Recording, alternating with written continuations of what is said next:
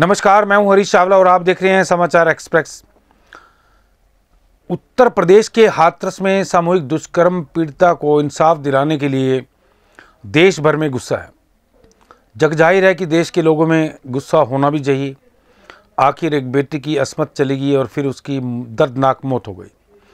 पीड़िता की मौत के बाद अब उनका, अब उसका जबरन अंतिम संस्कार भी कर दिया गया।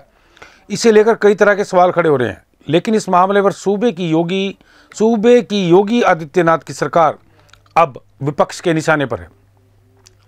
इस बीच कांग्रेस महासचिव प्रियंका गांधी वाड्रा और पार्टी के पूर्व अध्यक्ष राहुल गांधी पीड़िता के परिवार से मुलाकात करने के लिए आज दिल्ली से रवाना हो गए। उन्हें यमुना एक्सप्रेस वे पर रोक दिया गया। प्रशासन ने उन्हें आगे जाने की अनुमति नहीं दी। राहुल इस दौरान सड़क पर गिर पड़े। उनके सुरक्षा कर्मियों ने उन्हें उठाया। बाद में उन्होंने मीडिया से कहा कि आज स्थिति यह हो गई है कि देश में आम आदमी को पैदल चलने का अधिकार नहीं रहा। जिस पीड़िता से गैंग रेप किया गया, उसके शव को आधी रात को जला दिया गया, जबकि उनके परिजन रोते रहे। हम पीड़िता के परिजनों को सांत्वना देने के लिए जा रहे थे, लेकिन सरकार ने हथकंडे अपनाकर हमें रोक दिया। राहुल ने कहा, इससे सरकार की मंशा साफ़ नज़र आ रही है कि विपक्ष की आवाज़ को पूरी तरह से दबा दिया जाए। प्रियंका के ओएसडी ने कहा कि प्रियंका और राहुल को यूपी पुलिस ने रोक लिया है। दोनों हाथरस के लिए पैदल मार्च कर रहे थे। एक्सप्रेस वे से हाथरस की दूरी करीब 142 किलोमीटर है। गुरुवार की सुबह खबर आई कि राहुल, प्रियंका पीड़ित परिवार से मिलने जाने वाले हैं।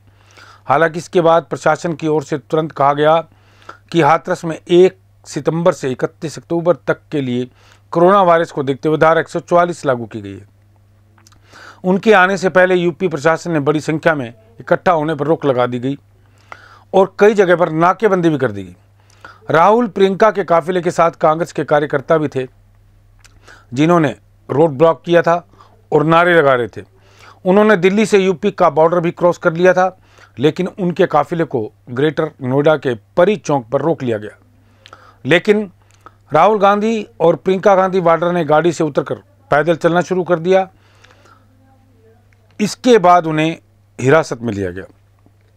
आपको बता दूँ कि सुबह से ही पीड़िता के गाँव में मीडिया के जाने पर भी रोक लगा दी गई थी।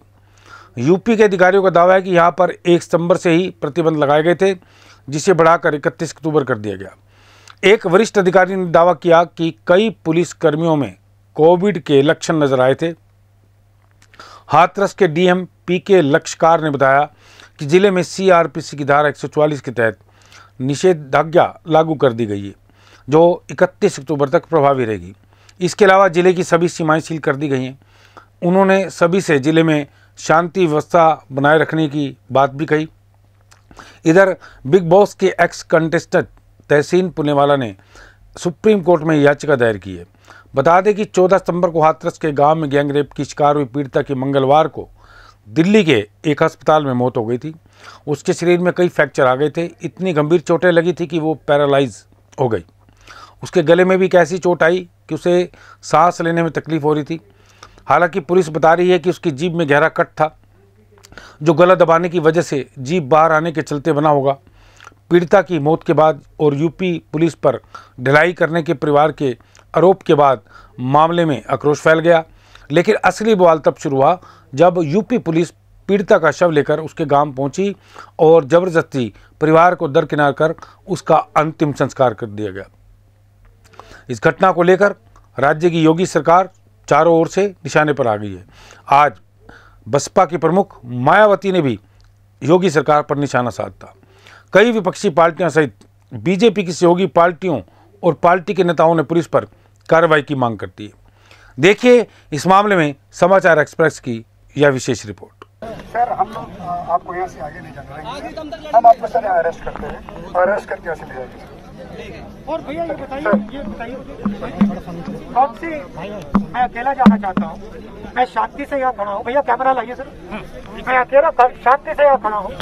मैं अकेला जाना चाहता हूँ। 144 कहता है पब्लिक असेंबली मैं पब्लिक असेंबली नहीं करना चाहता हूँ मैं अकेला पैदल यहाँ से हाथरस जाना चाहता हूँ। किस बेसिस पे आप मुझे गिरफ़्तार कर रहे हैं ये मुझे बता दीजिए। किस धारा में?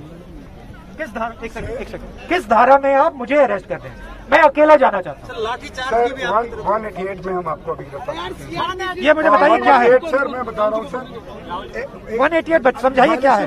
एनी एनी एनी लॉ कौन सा लॉ कौन सा लॉ है? कौन सा लॉ है ऐसा ऐसा जिलाधिकारी हाथरस का हम लोग के पास पत्र है। नहीं कौन सा लॉ वायलेट कर रहा हूँ ये तो बता दो।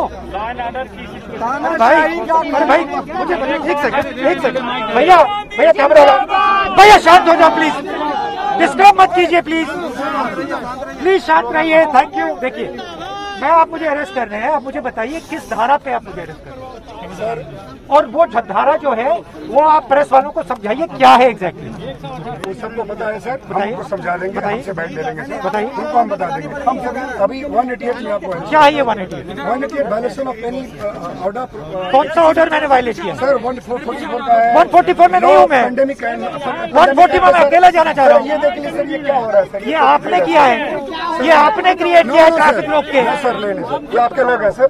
सर मैं आप लोग गिरफ़्तार करता हूँ। आपने एक मिनट देना मैं मैक देना मैक दो मैक नहीं, मैं पूछ रहा हूँ। ये बताइए आपने किसके आदेश पर लाठीचार्ज किया?